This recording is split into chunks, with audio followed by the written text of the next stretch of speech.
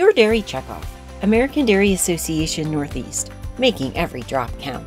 American Dairy Association Northeast works on behalf of dairy farmers to promote milk with breakfast and lunch in schools throughout our six state territory. The National School Lunch Program still requires that milk be offered with every meal, and that's good news for dairy farmers. We also show schools how to add other dairy items to school menus with innovative recipes like yogurt smoothies and hot chocolate milk. And we help schools keep milk cold. Learn more about our work in schools at AmericanDairy.com.